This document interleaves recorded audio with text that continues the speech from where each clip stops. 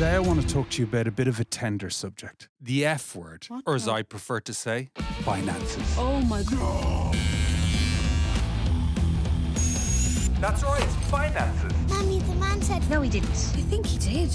Not a dirty word. Checking your financial well being with Bank of Ireland is just a simple way to help take control of your money. Let's talk finances. That's not my son.